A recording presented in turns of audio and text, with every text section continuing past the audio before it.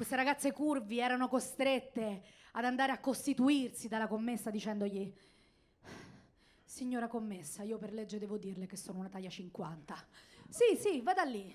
Lì, lì dove finisce la dignità. Lì, lì dove la sartoria non può fare più nulla per lei. Lì. È come se ci fosse, se ci pensate, questa divisione, no? Questa sorta di acheronte delle fregne dove da un lato ci sono le ragazze normali, propriamente filiforme, che hanno dei diritti, diritti insomma, stiamo in Italia, Monza allargamo, e dall'altra ci sono delle curvi che sono costrette a una serie di riti, del tipo andare avanti e indietro e mettersi di fronte allo specchio a ripetersi dei messaggi motivazionali nei quali loro non credono, del tipo mi piaccio nonostante tutto. Sono molto simpatica. Oh, quanto ho voglia di fare l'amica della protagonista fregna in una fiction di prima serata dove sceneggiatura sono l'amica grassa ma con un bel viso, esperta di informatica e Marcel Proust.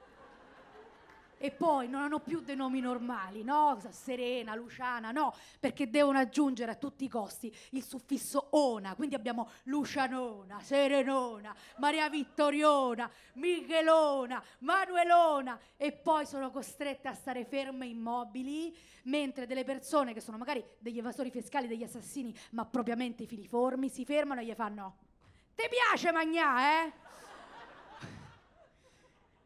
E dall'altra parte le ragazze propriamente filiformi sono terrorizzate dal fare la stessa fine quando mangiano un pezzo di pizza, del tipo pizza. Oh, oh, oh, oh, boom! E si materializza come Minosse. Il dottor Novarazan. Giulia! Lei ha due Kinder Bueno della zona curvi. Ma dottor Novarazan, io sono un metro e settanta per 70 kg. Quanto ancora pensa di vivere?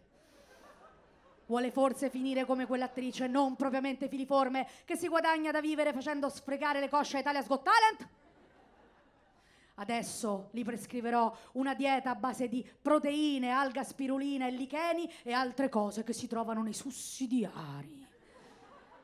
E questo è il mondo curvi, perché poi c'è l'incubo della body positivity, quella roba dove te devi piacere a tutti i costi, pure se sei nata degliera, se no sei stupida, sei superficiale, sei un'amica delle guardie e devi morire bevendo la cicuta.